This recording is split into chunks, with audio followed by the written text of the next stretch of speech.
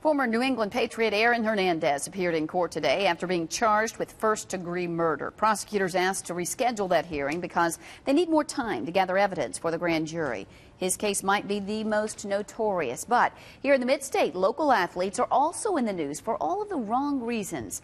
Former Mount Pleasant quarterback Princeton Harlan will spend 10 years in prison after admitting to sex acts with a 12-year-old girl. Last month, the Vanderbilt football team dismissed four players amid a Metro sex crimes investigation on campus. And then last week, three MTSU football players were arrested in an assault investigation. Fox 17's Eric Alvarez here now to shed some light on what some call a growing problem. Eric? That's right, Stacy. Earlier today, I talked to a retired NFL player the league chose to help rookies stay on the straight and narrow.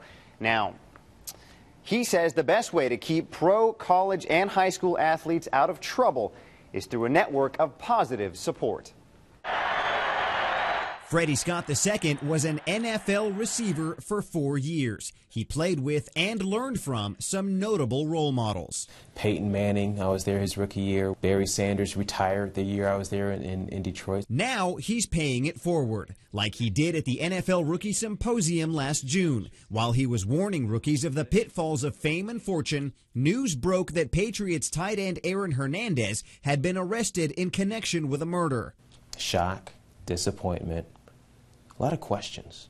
While Hernandez is the most prominent, he's by no means the only athlete making headlines. Four Vanderbilt football players and three others at MTSU are currently in the midst of their own controversies. We really need to peel the onion back a little bit more and say, okay, what are the reasons why? Why do young men feel like these behaviors are acceptable? That's why Scott created Unlock the Champion a Nashville nonprofit that keeps athletes of all ages grounded. Scott says a star player's negative perception can start as early as middle school. You're groomed in a culture that because you're an athlete, rules that apply to everyone else do not apply to you. Scott says the best way to fight that is through a year round support system that starts early in life with friends and neighbors. And you never know the level of impact that you can have on a young person by showing them an alternative to some of the decisions that we're seeing just rampant today.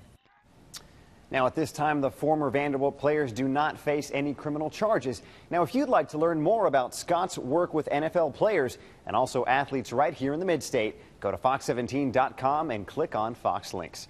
Eric Alvarez, Fox 17 News.